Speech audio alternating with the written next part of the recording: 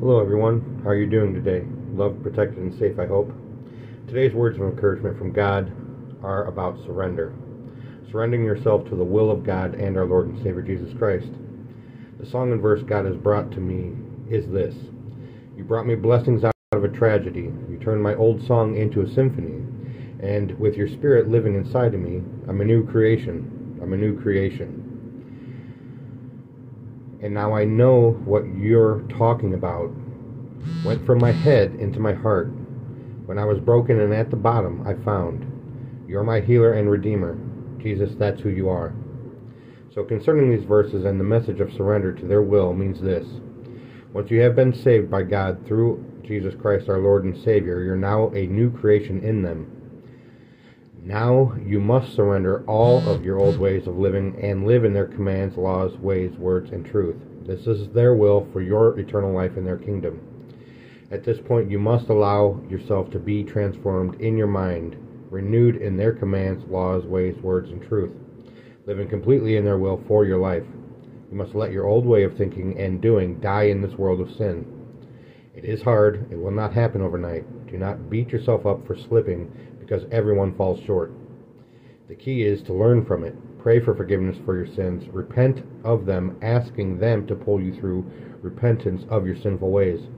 It doesn't matter how slow you move forward with them. What matters is that you never stop moving forward with them. In time, it will get easier. Like everything else, practice makes it better and easier. You must put all things at their feet to let them carry it and you forward in your journey with them to eternal life in their kingdom. Now let's get into the scriptures. First is John 3:28 through 36. You yourselves are my witnesses that I stated, I am not the Christ, the Messiah, the anointed, but I have only been sent ahead of him as his appointed forerunner and messenger to announce and proclaim his coming. He who has the bride is the bridegroom. But the friend of the bridegroom who stands by and listens to him rejoices greatly because of the bridegroom's voice. So this pleasure and joy of mine is now complete. He must increase in prominence, but I must decrease. He who comes from heaven is above all others.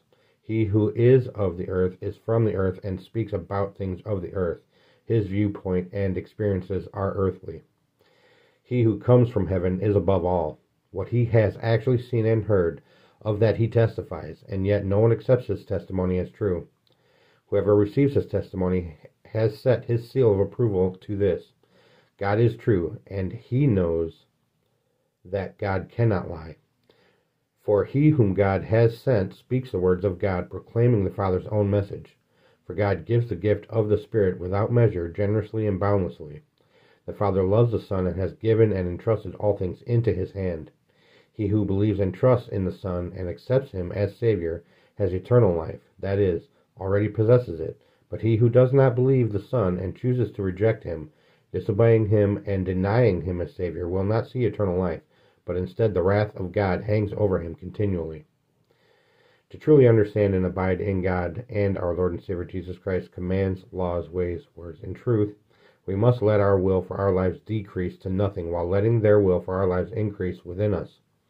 This is the transformation to become more Christ like and is convicted in us through the Holy Spirit that comes from them that lives inside of us after salvation. This is a process of surrendering our lives to their will for our lives. 1 Peter 5 6 through 11. Therefore, humble yourselves under the mighty hand of God. Set aside self righteous pride, so that he may exalt you to a place of honor in his service at the appropriate time casting all your cares, all your anxieties, all your worries, and all your concerns once and for all on him, for he cares about you with deepest affection and watches over you very carefully. Be sober, well balanced, and self disciplined. Be alert and cautious at all times. That enemy of yours, the devil, prowls around like a roaring lion, fiercely hungry, seeking someone to devour. But resist him, be firm in your faith, against his attack, rooted, established, immovable, knowing that the same experiences of suffering are being experienced by your brothers and sisters throughout the world. You do not suffer alone. After you have suffered for a little while, the God of all grace, who imparts his blessings and favor, who called you to his own eternal glory in Christ, will himself complete, confirm, strengthen, and establish you, making you what you ought to be. To him be dominion, power, authority, sovereignty forever and ever. Amen. Humbling yourself before them is surrendering to their will for your eternal life. Casting all concerns to them is surrendering to their will. This is allowing them to take your burdens upon themselves so that you can let them go to move forward with your path in them. Satan will always try to attack you with everything negative to keep you from being who God created you to be. So, resist Satan's temptation, fear, fears, worries, doubts, ill mannered words, thoughts, and actions towards everything. Lean on God and Jesus Christ our Lord and Savior for all things, and Satan will flee from you. Luke 9:23 through 27. And he was saying to them all, If anyone wishes to follow me as my disciple, he must deny himself, set aside selfish interests, and take up his cross daily, expressing a willingness to endure whatever may come, and follow me, believing in me, conforming to my example in living, and if need be, suffering or perhaps dying because of faith in me. For whoever wishes to save his life in this world will eventually lose it through death. But whoever loses his life in this world for my sake, he is the one who will save it from the consequences of sin and separation from God. For what does it profit a man if he gains the whole world, wealth, fame, success, and loses or forfeits himself? For whoever is ashamed here and now of me and my words, the Son of Man will be ashamed of him when he comes in his glory and the glory of the Heavenly Father and of the holy angels. But I tell you truthfully, there are some among those who standing here who will not taste death before they see the kingdom of God. You will suffer in this world, for Jesus' namesake, as this world is of Satan's sinning ways, and you are now walking against it. But never give in, never give up. You will make it through with them.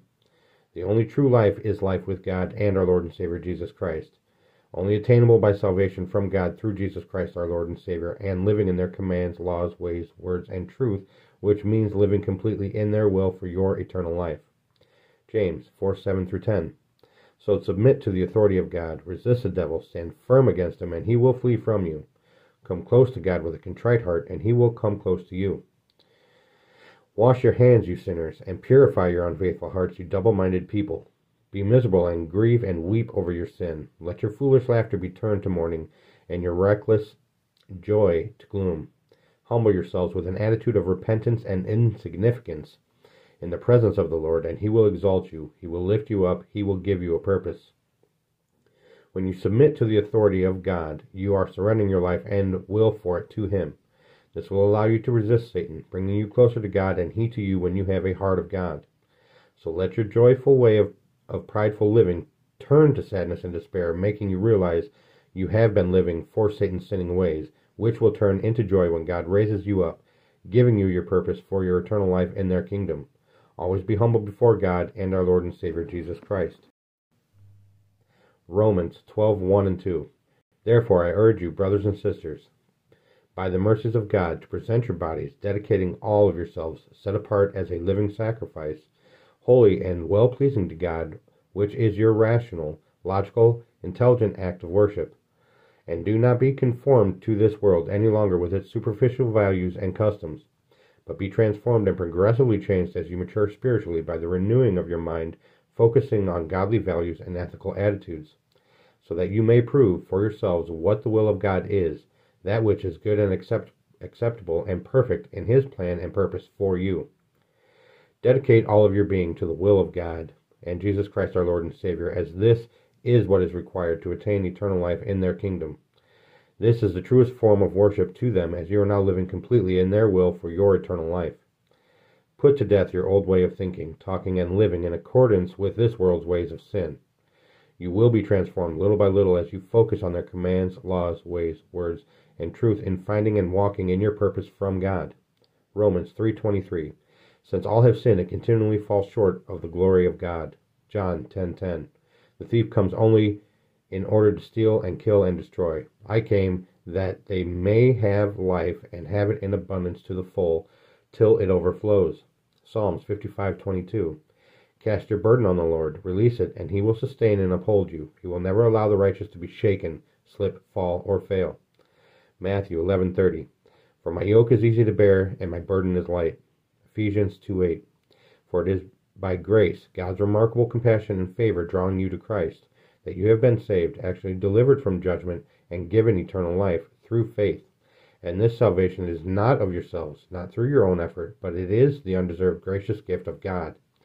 John 16:33 I have told you these things so that in me you may have perfect peace. In the world you will have trib- tribulation and distress and suffering. But be courageous, be confident, be undaunted, be filled with joy. I have overcome the world. My conquest is accomplished, my victory abiding. Ephesians 6:14 through 18 and 23 and 24.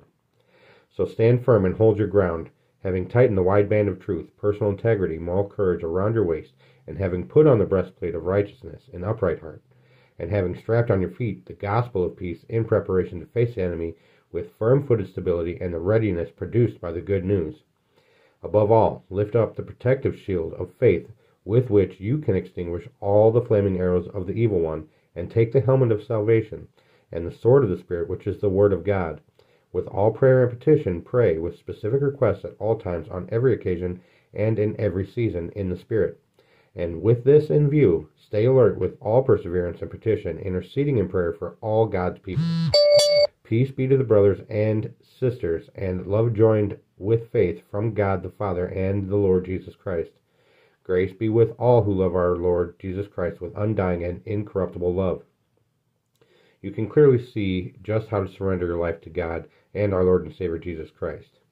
You now know what you're gaining by letting go of your will for your life to live in their will for your eternal life in their kingdom. You know the consequences for disobedience to their commands, laws, ways, words, and truth.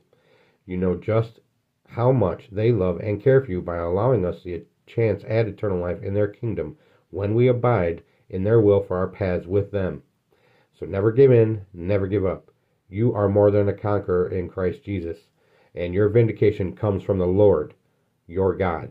Remember, God, Jesus Christ, our Lord and Savior, the Holy Spirit, the angels, and I love you all without question or reservation.